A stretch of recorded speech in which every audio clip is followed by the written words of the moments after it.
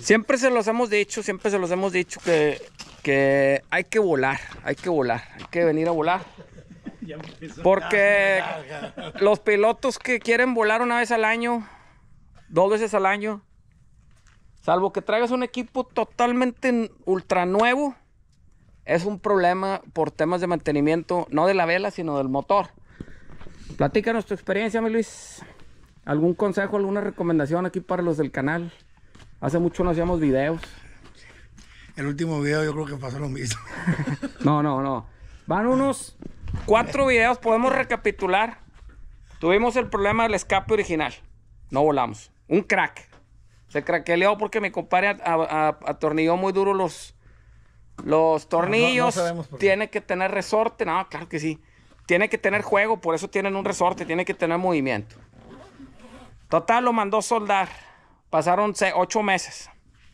Vinimos otra vez y, otra vez falló algo del escape.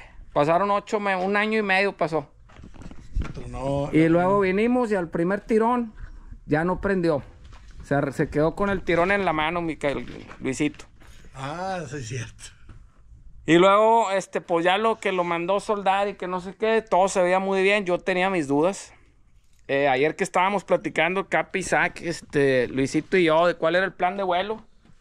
Luisito inmediatamente dijo un cross a paredón y de regreso.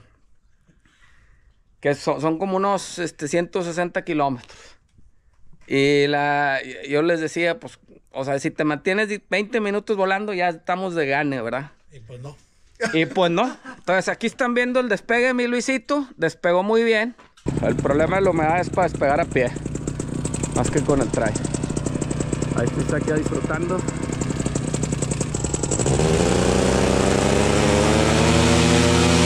Más bien, más bien, más bien.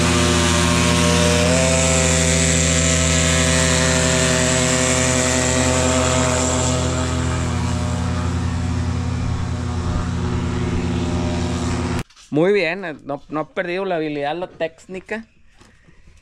Pero desde que despegó, a lo mejor aquí alcanzan a escuchar ustedes, se escucha diferente, se escucha muy fuerte.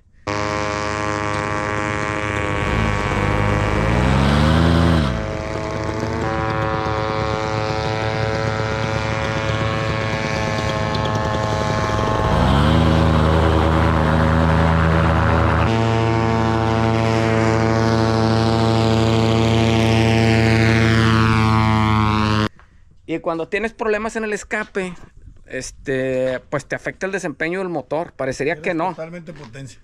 Toda la potencia se pierde. perdiste potencia y te viniste a aterrizar. No hay manera, no hay manera de, de, de agarrar altura.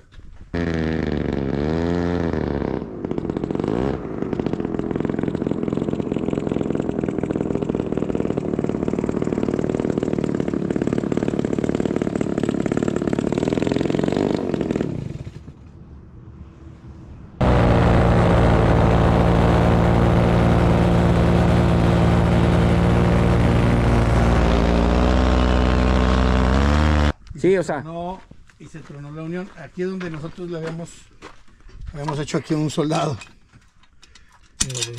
Es difícil este, reparar este, estos materiales y en una zona que cambios de temperatura muy fuertes y harta vibración. Cabe, cabe decir que ya mandamos pedir todo el mofle. Entonces ahora sí ya para no batallar pedimos todo el escape completo porque ya seguir reparando ahí no es opción.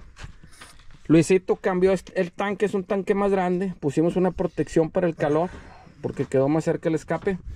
Pero bueno, para poder hacer los crosses. Para poder hacer los crosses de 10 minutos. Entonces, al final este video es para hacerte esa recomendación.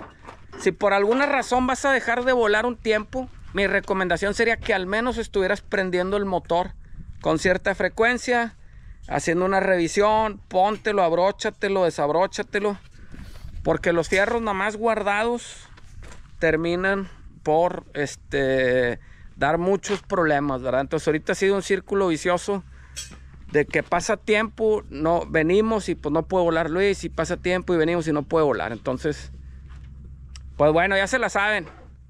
Si no vas a usar tu motor por un buen tiempo, recomendable estarlo prendiendo, estar tratando, aunque sea ahí sin volar, pero estarle dando cierto uso, ¿verdad? Saludos.